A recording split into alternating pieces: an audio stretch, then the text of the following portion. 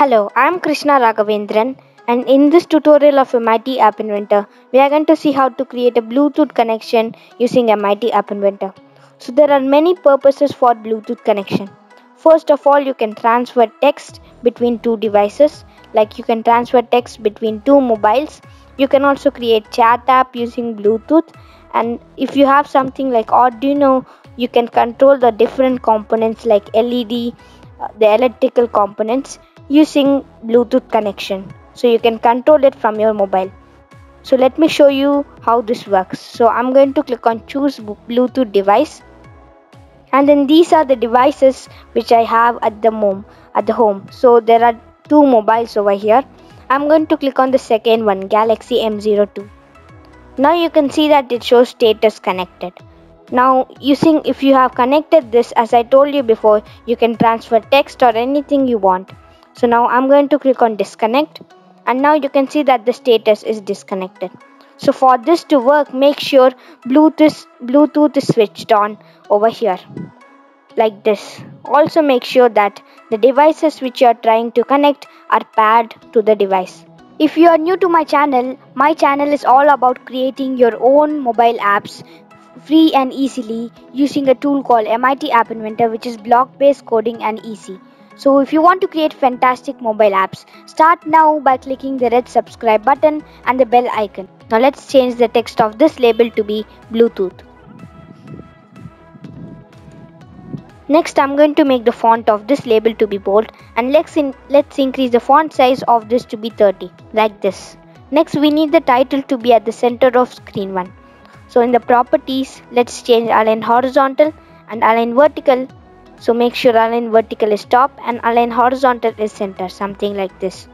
Next what we are going to do is we need to put a list picker so that they can pick which device they want to choose to connect to Bluetooth. So let me go over here and I'm going to change the text of this list picker to be choose Bluetooth device. So make sure you note that this is not a button and this is a list picker. We are using a list picker because we are going to pick from a list of devices which will be visible in the list picker so that we can connect the device to Bluetooth. Next I'm going to make the font to be bold like this now we are going to bring in a label where we will show the status whether it is connected or disconnected. So uh, the default will be disconnected when the app is starting. So over here I'm going to put status and disconnected. I'm going to make it bold again like this. Next this time we are going to bring in a button and the text of this button is going to be disconnect. I'm going to make the font to be bold. So using this button the user can disconnect from the device. Now to connect to Bluetooth, we need a component for that. So let's go over here to the connectivity section and from here we are going to bring in the Bluetooth client component. So Bluetooth client component and over here what we will do is make sure these properties are the same like what you see over here. Now let's go to the block section. So first what we are going to do is let's go over here to the list picker and we are going to bring in this block when list picker 1 dot before picking. So before the user picks the device, first we need to show the device in a list list. So we are we are going to show it in the list picker. So to show it, let's go over here to the list picker and I'm going to bring let's go let's scroll down and you'll be able to see list picker one dot elements. So the elements of the list picker are going to be let's go to the Bluetooth client and over here we are going to get the addresses. So we will get all the address of the devices so just bring it over here so as you can see we are going to use bluetooth client to get the addresses and names of the different devices which are available in bluetooth next after we do this after the user picks something in the list picker so let's go over here to the list picker. And i'm going to bring in this block. When list picker 1 dot after picking. This means that the user has picked the device. Now what we need to do is we need to connect to the device. So let me go over here to the list picker again. And over here now I'm going to bring in the selection block. Set list picker 1 dot selection 2 and then over here we will connect it to the Bluetooth client. So you'll be able to see the connect block over here. Now the address is going to be whatever they selected in the list picker. So if they so we will put the address using whatever they selected, which device they want. so let me go to the bluetooth client again. And over here i'm going to get i'll go to list picker so that we can get the selection. So list picker one dot selection. Next we need to check whether the connection is successful or not. So for that let's go to control and we are going to bring in a if condition over here what i'm going to do is let me go to the bluetooth client and you'll be able to see there's a block called bluetooth client 1.is connected. So let's bring in this block. What this will do is it will check whether the bluetooth client is connected.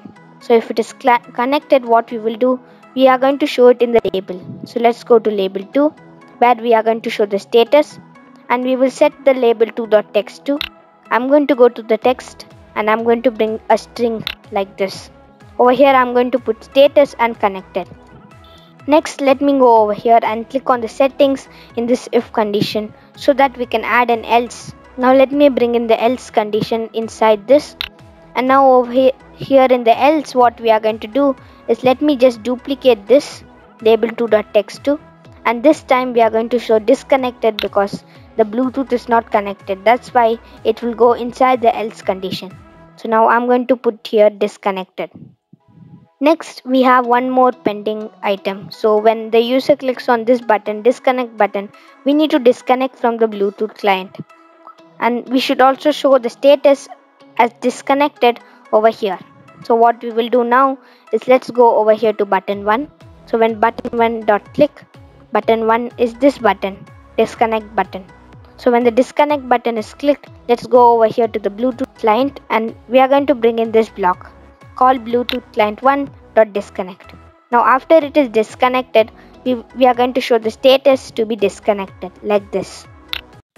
So here you can see the bluetooth app. Now i'm going to click on choose bluetooth device. So before you do this make sure that the bluetooth is switched on over here.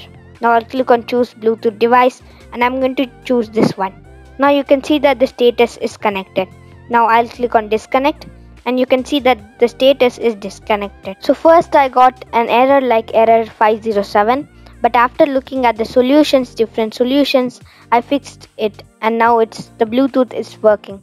So if you get something like this make sure you check the MIT App Inventor community where there are different solutions so that you can solve the issue. Also the common problem always is you haven't paired the device which you are going to connect. So make sure you pair the device so that you'll be able to connect it. Also if you are if it is still not working instead of using the MIT AI to companion you can also try building the app into an APK and installing it. So if you are if you have a problem you can check this link. I'm going to give it in the description below. Next do you want to create a chat app using MIT App Inventor make sure to watch this video and also watch my full course of MIT App Inventor over here